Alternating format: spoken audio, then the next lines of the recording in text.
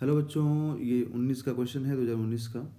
इसमें आपसे बोला गया figure shows a DC voltage regulator circuit with J zener diode of breakdown voltage six volt मतलब इसके पास सिक्स वोल्ट है breakdown voltage if the unregulated input मतलब यहाँ पे कोई इनपुट सप्लाई देगा varies between ten volt to sixteen volt then what is the maximum generate current अब यहाँ पे मैक्सिमम जनरेट करंट के लिए यहाँ पे बच्चों मैक्सिमम वोल्टेज होना ज़रूरी है, क्योंकि वोल्टेज जितना ज़्यादा हम देंगे यहाँ पे इनपुट में उतना ज़्यादा करंट यहाँ मेन करंट आएगा और जितना ज़्यादा मेन करंट होगा, उतना ज़्यादा करंट इधर भी डिवाइड होकर आने का चांसेस रहेगा।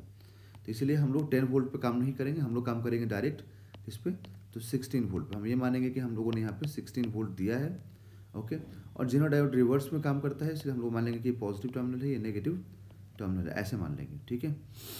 क्योंकि पॉजिटिव टर्मिनल होगा तो ये जाके एन टाइप से कनेक्ट होगा और ये नेगेटिव टर्मिनल पी टाइप से कनेक्ट होगा तो रिवर्स में काम करेगा। तो यहाँ पर हम लोगों को ये आई एस आई एल और आई जेड ये तीनों देखना पड़ता है बच्चों। और जीना डायोड का बोला गया कि इसका जो ब्रेकडाउन वोल्टेज है वो कितना है? सिक्स वोल्ट तो अगर जीना डायोड का बच्चों ब्रेकडाउन वोल्टेज सिक्स है, इसका मतलब कि ये अगर ए बी वायर है और ये सी डी वायर है तो हम लोग बोलेंगे कि जो पोटेंशियल ए बी का होगा, वही पोटेंशियल सी डी का भी होगा। और दोनों का पोटेंशियल होगा कितना? सिक्स वोल्ट क्योंकि दोनों वायर आपस में पैरेलल है। तो हम लोग क्या करेंगे कि V C D is equal to I L into R L but C D कितना मालूम है? सिक्स वोल्ट आई एल हम लोगों को चाहिए, क्योंकि बिना आई एल के हम आगे समझ नहीं पाएँगे बच्चों। और ये किलो में है तो आप जब यहाँ से आई एल सॉल्व करके निकालेंगे सिक्स बाई फोर करके, और ये ten to power minus three हो जाएगा इधर आकर के तो आपको मिलेगा one point five milli ampere अब आपको आई एल मालूम हो गया। बट एक चीज़ तो क्लियर है कि अगर हमने यहाँ पे सिक्सटीन वोल्ट दिया है, और यहाँ पे सिक्स वोल्ट इसके पास पहले से मतलब है मतलब ये अपने पास सिक्स वोल्ट ही रखेगा ऑलवेज तो आउट ऑफ़ सिक्सटीन इसने सिक्स कंज्यूम किया। ठीक है, क्योंकि इस पूरे कॉम्बिनेशन के क्रॉस वोल्टेज क्या है सेम है। तो जो भी यहाँ वोल्टेज देंगे हम लोग, उसका कुछ पार्ट ये कंज्यूम करेगा, कुछ ये कंज्यूम करेगा। बट इसका कंजम्पशन तो फिक्स है कि कितना होगा? सिक्स वोल्ट ही होगा, क्योंकि जनरल का ब्रेकडाउन दिया हुआ सिक्स वोल्ट इसका मतलब आउट ऑफ़ सिक्सटीन अगर ये सिक्स कंज्यूम करेगा तो ये कितना कंज्यूम करेगा बच्चों?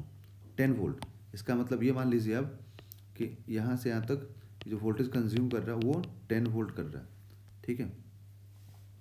तो लिखेंगे हम लोग voltage across voltage across two kilo ohm that is V one is equal to V one is equal to sixteen minus six that is ten volt ठीक है? टेन वोल्ट हो गया। तो अब अगर वी वन मालूम हो गया तो हम लोग आई एस भी निकाल सकते हैं। तो ten volt is equal to I S तो हम लोग को चाहिए ही आर एस कितना है?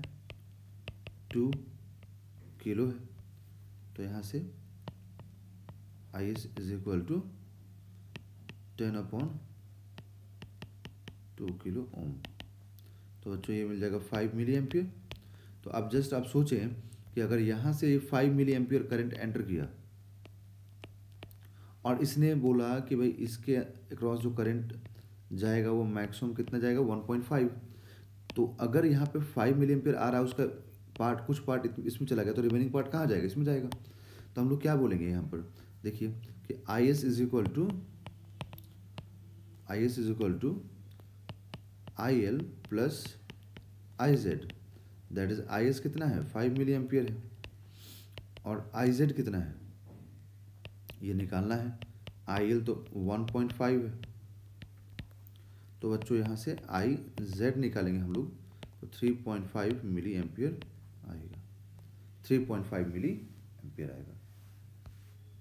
इसका ऑप्शन नंबर डी करेक्ट हो जाएगा।